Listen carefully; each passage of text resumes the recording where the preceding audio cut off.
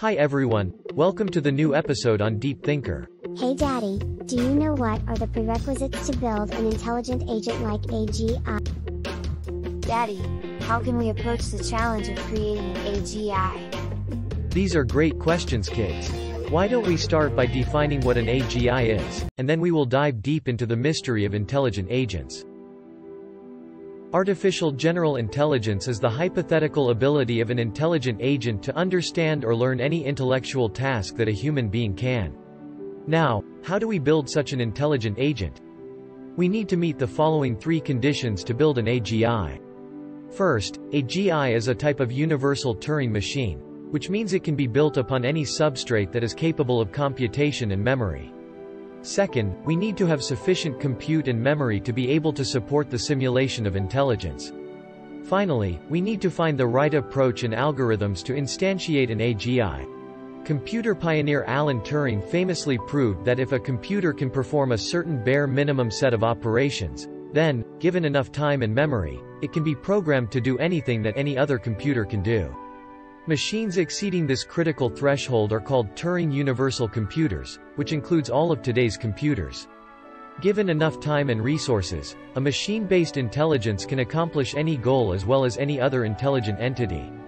For example, if the intelligence wants better social skills, forecasting skills, AI design skills, or skills to build a robot factory, it can acquire them.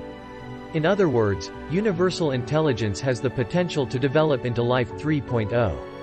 Now, does intelligence require a specific substrate? Does it require carbon like most life forms on Earth? Since memory stores the state and information about the world, any matter with long-term stable states can be used for memory. Computation is the transformation of information from one memory state to another, so any substrate that can enable this transformation can compute. Since intelligence is the ability to accomplish complex goals through computation and memory, intelligence is substrate independent. The choice of matter, however, can have a significant effect on the speed and size of an intelligent mind.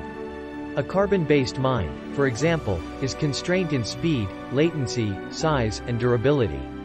This enables silicon mind to scale to sizes 18 orders of magnitude larger, implement new algorithms on the fly, while having other advantages such as being more reliable, editable, and duplicable. In fact, Silicon-based intelligence operate on a much faster time scale and will find it excruciating slow to communicate with carbon-based lifeforms. Now, how much compute and memory do we need to create a superintelligence? We need up to a million flops and 10,000 bits to simulate a single neuron. Simulating an insect takes a trillion flops, while simulating a single human takes a billion billion flops.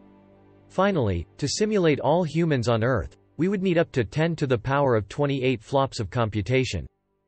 The total computation capacity globally today is 10 to the power of 22 flops which is enough to simulate 10,000 people.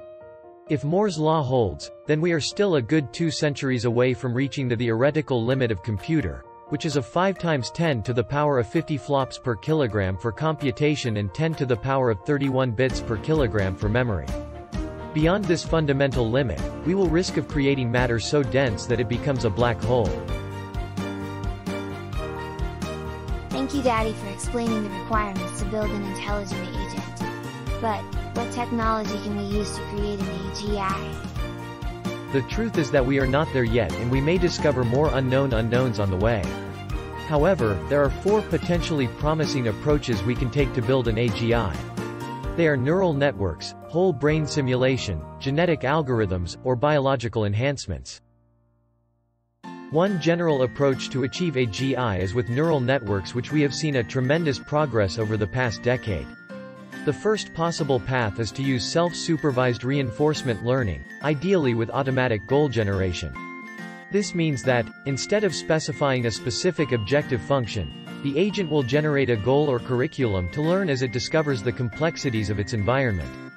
We have already seen some rudimentary success of self-supervised agents like AlphaZero and MuZero. If we can reach to a point where the agent can self-direct its learning goals and gain expertise over an unlimited range of applications, we would arrive at a general intelligent agent. Another path here is to build upon the foundation of attention-based generative models, as seen with transformer models like GPT-3. The demonstration here is that, by training on the data of the entire internet which contains a major portion of human knowledge, an agent can gain sufficient context to be able to be successful in many applications. However, we do have an embodiment challenge. While the agent may be able to reach almost human intelligence from training in a simulated environment, it won't be able to exceed human-level intelligence due to the constraint of the data available. To achieve superintelligence, it must have a body to interact with the real environment to learn knowledge not available in datasets, even though the rate of learning in real environment can be much slower than simulated environments.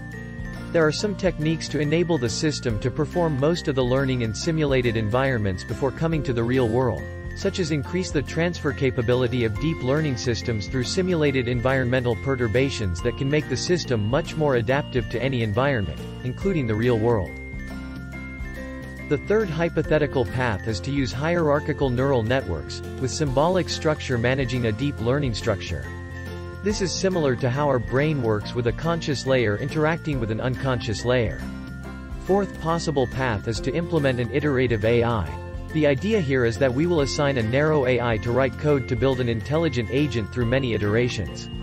While neural networks in general is probably our most promising approach, we still have lots of unknown unknowns to overcome, the second major approach is whole brain emulation. This involves first scanning the brain include post-mortem vitrification, slicing, and scanning. Then based on the raw data, create a 3D reconstruction of the brain and translate the representation to a machine model. Finally, we will simulate the model with large compute to extend it beyond human intelligence. This can be challenging due to the technological requirements involved to scan brain at such high resolution. It also could capture lots of unnecessary messy detail that arrived from evolution which do not necessarily contribute to intelligence, and may impede us from iterating this model to achieve AGI. Using genetic algorithm could be another way to achieve AGI. We could simulate biological evolution with environmental fitness function to select the populations that perform best in such an environment. However, given that it took 3.7 billion years of natural selection in the real world to achieve human intelligence, this could require huge computing resources and time to get to level beyond human intelligence. The fourth method to achieve AGI is through biological cognition. One path is to use mate selection. By encouraging the most intelligent people to produce more children, we could enhance cognition over course of many generations. The second path is to optimize for genes that lead to higher intelligence through direct gene editing or embryo selection. This method can allow a faster path to higher intelligence, but can have risks if we do not fully comprehend the interdependencies between gene expression. The third way is to use performance-enhancing drugs to improve memory and compute of the brain. However, the improvement may be limited as drugs does not significantly alter the architecture of the brain. The last path is to use brain-to-computer interface to help biological brain to access external compute and storage that can vastly improve its memory, bandwidth and latency. This can enable humans to gradually transition into a silicon-based intelligence before the AGI takeoff scenario. Because all of these biological enhancement methods rely on carbon-based life, they could be the slowest to achieve AGI among the four approaches we discussed today. Today we had gone over the prerequisites to build an AGI, including concepts such as universal Turing machine, substrate independence, compute and memory requirements. We had also investigated methods to build an AGI, including future advancements in neural networks, whole brain emulation, genetic algorithms, and biological cognition enhancements that could give birth to an intelligence beyond our control and imagination. Thank you for watching the video today. Please like this video and click the bell button to be notified of future Deep Thinker content.